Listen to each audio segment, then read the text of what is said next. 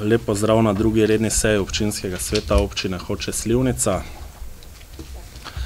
Ugotavljam, da smo sklepčni. Uh, odsoten je, gos, je prosim? gospod Smogavec, gospod Kobal, gospa Rauter. Uh, gospa Rauter je napisala, da pride zamudo. Točka dva, pregled in potrditev zapisnika prve konstitutivne seje. Ima kdo kaj na zapisnik? Ugotavljam, da ne. Predlagam sledeti sklep občinski svet občine Hoče Slivnica potrdi zapisnik prve konstitutivne seje občinskega sveta občine Hoče Slivnica. Kdo je za ta sklep, naj to potrdi z dvigom roke.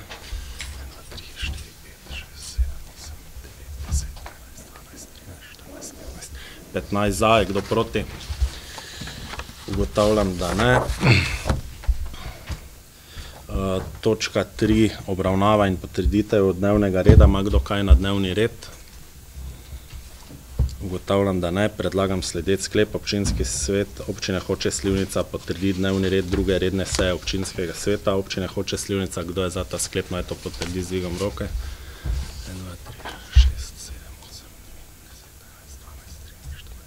16 za, soglasno. Hvala. Točka 4. Obravnava in potrditev predlogov za imenovanje članov odborov in komisije občinskega sveta in predlogov za imenovanje članov nadzornega odbora občine Hoče Slivnica. Poročevalec, predsednik komisije za mandatna vprašanja, volitve in imenovanja Jožef Merkoš, izvolite.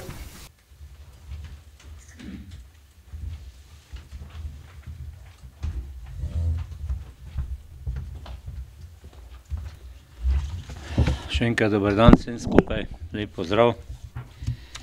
Komisija za volitve imenovanja je na svoji zadnji seji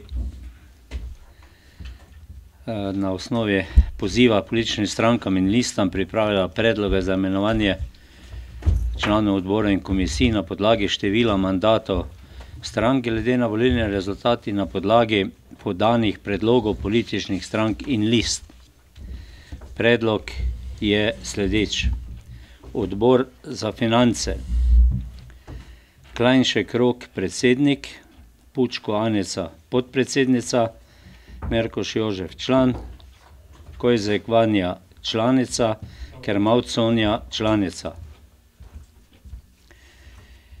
Naslednji predlog je predlog za odbor za okolje in prostor. Pust Boris, predsednik, Petrič Ksenija, podpredsednica, Vrhovšek Konrad, član, Sinič Ljubomir, član in Haložan Marjan, član.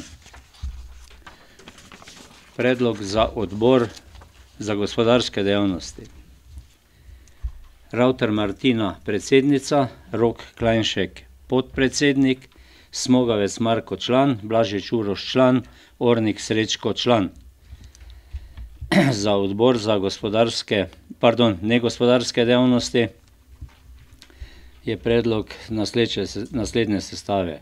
Kavaš Andreja, predsednica, Ornik Simona, podpredsednica, Habinc Benjamin, član, Trinko Zdenka, članica, Gajzer Zdenka, članica. Statutarno-pravna komisija. Trstenjak Zvonimir, predsednik, Arzenšek Anita, podpredsednica, Pavlinič Frangež Jelena, članica, Meglič Aleš, član, Lobnik Rado, član. In za nadzorni odbor Žura Drago, predsednik, Mlaj Bojan, podpredsednik, Pučko Zoran, član, Frangež Boštjan, član in Haložan Danica, članica. Toliko o predlogih, če je potrebno še kaj, bom dodal kasneje. Hvala lepa. Hvala, odpiram razpravo. Izvolite.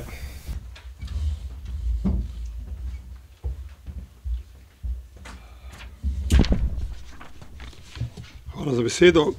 Najprej lep pozdrav vsem skupaj. Da ne bom pozabil, predsednik je ravnokar rekel, da je ta predlog izdelan tudi na osnovi poziva, poziva strankam in listam. To seveda ni res, ne. Mislim, tak izdelek ne more biti tega, posledica tega. Pa lepo po vrsti. Glede na potek prve konstitutivne seje občinskega sveta in njem imenovano komisijo za mandatna vprašanja imenovanja, nisem presenečen nad predlogom, ki ga je za današnjo sejo pripravila ta komisija. Ne glede na dejstvo, da je komisija za mandatna vprašanja in imenovanja dne 7.12. politične stranke in liste pozvala posredovanju predlogov za imenovanje delovnih teles, pa je komisija v celoti sledila predlogu delitve mest v odborih in komisijah, ki ga župan že 29.11. predstavil predstavnikom stranki list. Že na tej predstavitvi je predsednik občinskega odbora SLS-a Hoče Slunca župan obvestil, da stranka s takšno delitvijo ne soglaša, po čemer ga je pisno obvestil z dopisom 3.12. Prav tako je občinski odbor do 12. Pardon, do 11.12. posredoval predloge za imenovanje svojih članov za posamezne odbore in komisije občinskega sveta ter nadzorni odbor. Rezultat, ki ga imamo pred seboj, je ta, da je kvi, komisija za volitve in imenovanja predloge SLS-a v celoti ignorirala, se oproščam in se moram popraviti. Pri predlogu članov komisije za statutarno vprašanje je upoštevala predlog SLS-a, da bi bil član te komisije naš predstavnik gospod Rado Lobnik. To je edino, kar je skladno z našim predlogom. Torej se je uresničila moja slutnja, ki sem jo napovedoval na predhodni seji. Župan je s podporo predsednika komisije in nekaterih članov svoje liste pripravil predlog, ki na eni strani nagrajuje nekatere koalicijske partnerje za podporo na lokalnih volitvah, po drugi strani pa stranki SLS za celoten mandat onemogoča aktivno delovanje v odborih občinskega sveta. Kako sicer razumeti predlog, da se člane SLS-a imenuje na vsa mesta v komisiji za statutarno pravna vprašanja, ki predstavlja le komisijo, katere pristojnost je zgolj oblikovanje mnenja oziroma stališča glede skladnosti obravnavanih predlogov z aktov za ustavo, z zakoni in statutom občine, ter glede na medsebojne skladnosti z drugimi veljavnimi akti občine, sicer pa si to preberite v oseminpetdesetem členu poslovnika občine, občinskega sveta občine Hoče Slunca. Kot sem povedal na prejšnji seji, bo sodelovanje stranke SLS z vidika aktivnega izvajanja funkcij v lokalni samoupravi zreducirano zgolj na delo v občinskem svetu, ker pa vemo, da bo glasovalni stroj zmagovalne koalicije zagotovo izglasoval vse svoje predloge. S tem se stranki SLS ne omogoča le dela v odborih in komisijah, ampak predvsem resno in odgovorno delovanje, ki so nam ga s svojimi glasovi zaupali volivci. Upam, da mi tudi danes župan ne bo skušal dopovedati, kako lahko člani te komisije aktivno sodelujejo pri obnavi posameznih točk, ki jih obravnava občinski svet. Če bi to bilo res, ne razumem, zakaj ni podan predlog, da se v odbore komisije in občinskega sveta člane posameznih strank in list razvrsti skladno z njihovim volilnim izidom enakomerno in pravično. Posebej bi želel opozoriti na politično povsem nehigienski predlog za člane nadzornega odbora, ki ga sestavlja koalicija, pri čemer so celo trije člani z liste ZZ, torej bo ZZ in koalicija nadzirala sama sebe. Super. Spoštovani, v SLS-u se zavedamo, da nismo zmagovalci zadnjih volitev, pa vendar smo na teh dosegli drugi volilni izid. Menimo, da nam to daje pravico zahtevati, da se naš, da se nas obravnava enako kot stranke in liste, ki so na volitvah dosegle slabši volilni izid. Pri čemer naj navedem, da so na Ptuju komisijo za volitve in imenovanja sestavili tako, da sestavljajo predstavniki iz petih najbolje uvrščenih strank in list na volitvah. Med njimi so tudi županski kandidati. Ker smo v SLS prepričani, da naša, da naša da komisija svojega predloga ne bo danes ne bo spremenila in upoštevala naših predlogov, stranka SLS zaradi prej navedenih razlogov ne sprejema ponujenega članstva v komisiji za statutarno pravna vprašanja, svetniki SLS-a pa bomo podprli, pa ne bomo podprli predloga imenovanja članov in odborov in komisij občinskega sveta občine Hoče - Slivnica. Člani SLS-a bomo v mandatnem obdobju dva osemnajst-dva dvaindvajset delovali le kot občinski svetniki, s tem komisija za volitve in imenovanja, predvsem pa župan Marko Sorčak, lista Znamo, zmoremo ter koalicijske stranke in liste prevzemate vso odgovornost za nastalo situacijo in posledice. Hvala. Hvala. Še kakšen predlog? Ugotavljam, da ni več predlogov, glede na to, da ni bilo konkretnega kontrapredloga, dajem na glasovanje sledeč sklep. Izvolite.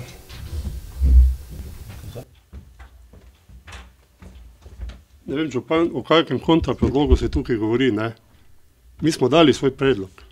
Ne vem, zakaj bi morali dati še kontrapredlog temu zmazku, ki ste ga danes dali sem. Hvala. Hvala za vaše mnenje. Torej kot kontrapredlog sem, je bilo v mislih, da se poda sestava odborov drugače, kot je tukaj. Na glasovanje dajem sledeč sklep: Občinski svet Občine Hoče - Slivnica potrdi predloge imenovanja članov odborov in komisije občinskega sveta Občine Hoče - Slivnica, kot je dano za Odbor za finance, Odbor za okolje in prostor, Odbor za gospodarske dejavnosti, Odbor za negospodarske dejavnosti, Statutarno-pravno komisijo in nadzorni odbor. Kdo je za to, naj to potrdi z dvigom roke. En, dva, tri, štiri, pet, šest, sedem, osem, devet, deset, enajst, dvanajst, trinajst, štirinajst, petnajst za. Je kdo proti? Dva proti, trije proti. Hvala. S tem smo zaključili točko štiri. Ne. je že tam popravljeno. Če bi nazaj pogledali, glejte, tam je že popravljeno. Ja, je.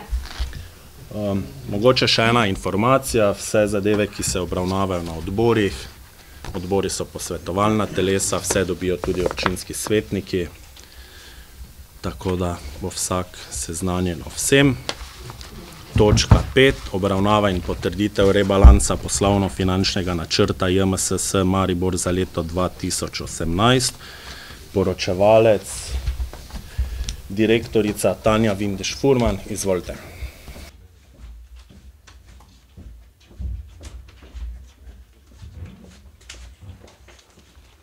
Prosim, da maksimalno pet minut, tukaj pa je ura. Bom poskusila čim krajše. V bistvu mi smo pripravili proračun, zato ker se nam bistveno spreminja finančni tok. In sicer smo, kot veste, večina od vas, tisti, ki ste novi, pa vam bom povedala čisto na kratko, da smo imeli v preteklih dveh letih predvideno energetsko sanacijo na Engelsovi ulici, in sicer za sto dve stanovanji. V zvezi s tem smo se prijavili tudi na kohezijska sredstva. Prosim? smo se prijavili tudi na kohezijska sredstva in bili v prvi fazi uspešni na razpisu, za drugo fazo razpisa pa bi morali to podpreti tudi s finančno konstrukcijo. V proračunu Mestne občine Maribor so bila ta sredstva v višini devetsto štiri tisoč evrov predvidena, vendar smo predvidevali, da do konca leta ne bodo prenešena na stanovanjski sklad oziroma da se dokapitalizacija strani mestne občine ne bo izvedla, s tem pa mi ne moremo nadaljevati druge faze prijave na razpis, zato smo že v mesecu septembru pripravili rebalans proračuna, saj govorimo skoraj o milijonu in pol sredstev, mi pa imamo skupaj v proračunu pet milijonov. Tako da v bistvu govorimo o triindvajsetih procentih spremembe proračuna, zato smo se potem odločili tudi za rebalans. To je tudi ključni znesek, ki ga spreminjamo s tem proračunom oziroma s tem rebalansom. Bo dovolj na kratko?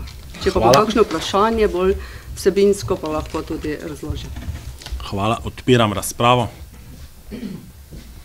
Ugotavljam, da ni razpravljavcev, predlagam sledeč sklep: Občinski svet Občine Hoče - Slivnica sprejme rebalans poslovno-finančnega načrta JMSS Maribor za leto dva osemnajst. Kdo je za ta sklep, naj to potrdi z dvigom roke.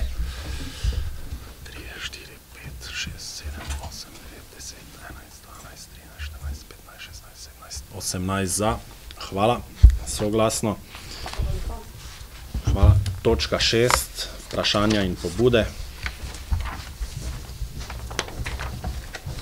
Ugotavljam, da ni vprašanj in pobud.